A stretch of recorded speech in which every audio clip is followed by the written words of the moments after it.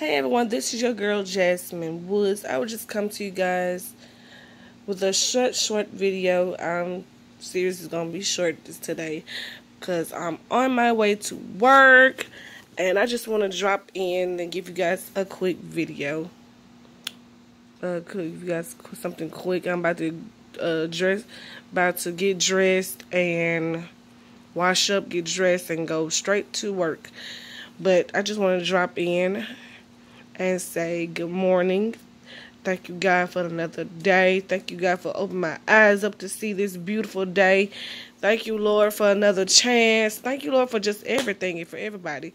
But last night, I had, it was like very, very late or very, very early in the morning where I had introduced, uh, told you guys about my new series segment that I'm doing on my YouTube channel, and it's uh, going to be focused on singleness and maybe some other topics, but mostly it's going to be focused on singleness because that's what a lot of us are dealing with. And then it's like, and what crazy about it is when you're going through singleness, you think you're the only one who's single, but when you, well, every, but you know, because you know you only like you only because so it's so it's sort of like you being self centered because you don't think about other folks who are going through singleness as well. But you are just mostly so obsessed with your own singleness that that's all you focus on.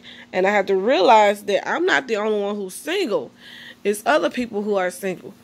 So, and I have, and in the world, and then to be honest, at first it was only feel like I'm single. Like God, what's up? I'm the only person that's single. But when I would look, but when I actually look and you know just look and just see that and see what things for what it is.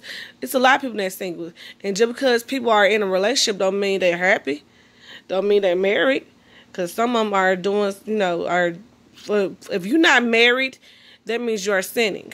So I'm not jealous of that type of relationship. I want to be married. I want to be Holy Ghost. I want to. I want to. I want a Holy Ghost filled marriage. I want a God centered marriage. I want a God led, God directed, God centered, everything about God when it comes to my relationship, my next relationship. If it's if it's one if you know if it's meant for me to have another one.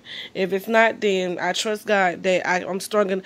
I'm trusting God that I'm strong enough to, you know, be in this world by myself. Because not everybody needs someone anyway. So if I'm if God think I'm strong enough to live in this world single by myself, then that means I am even though it's going to be hard, even though it's it's hard, it's going to be hard.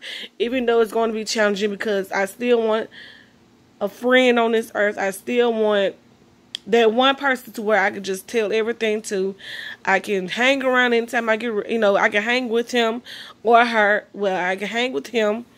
I I mostly want to, cause like I said, I want to, I want to, I want a man. Well, I don't say a man, just a man. I want a man of God.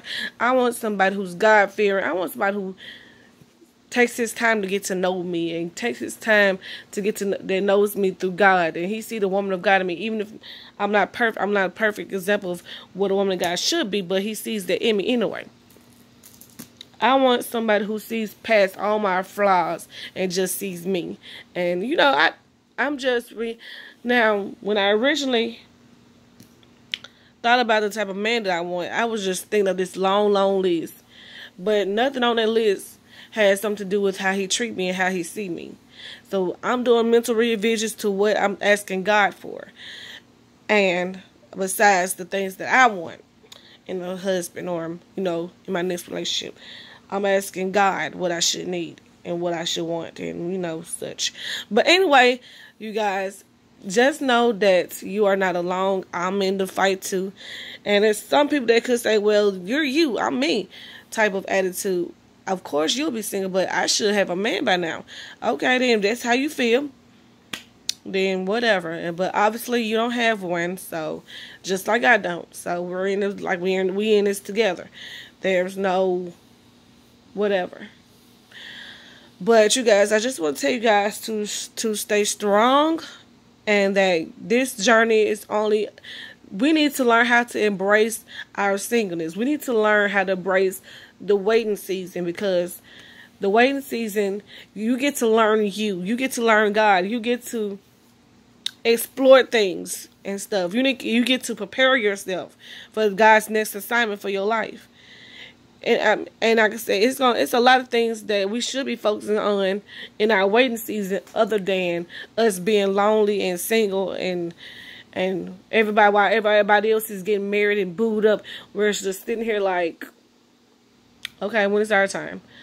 But at the same time, we're looking at singleness and waiting and, and the waiting season in a wrong way. When we should be embracing it because when others because I'm saying this because as a single woman because when when is the another when when you gonna have another time? When you gonna have time in your marriage? When you gonna have time and when you start to build like if God if God gives you a husband, you guys have a family and you have a beautiful marriage and such and such, and then you look back in your marriage and you look back on yourself like, I wish I would have took my waiting season my waiting season seriously to get to know myself, get to know me, get to know how are you gonna have time to do that when if you're already married and such. So that's why I want to embrace uh my my waiting season because I don't know if maybe God might not give me a husband. He maybe he give me something better than a husband. Maybe he give me uh he he shoots my ministry to another level, and then another level, then another level, and just not just because I'm lonely don't mean uh, I actually need another human in my life. Maybe I just want I just need more of God. So uh I just want to encourage you guys to stay strong. I know this season is like this wait season is probably you find you might feel like it's the worst season ever, but at the same time it's for our good. And if you know the true loving God that he will never withhold anything that's good for us. So I just want to tell you guys to embrace this season and love God and continue to trust him. Bye.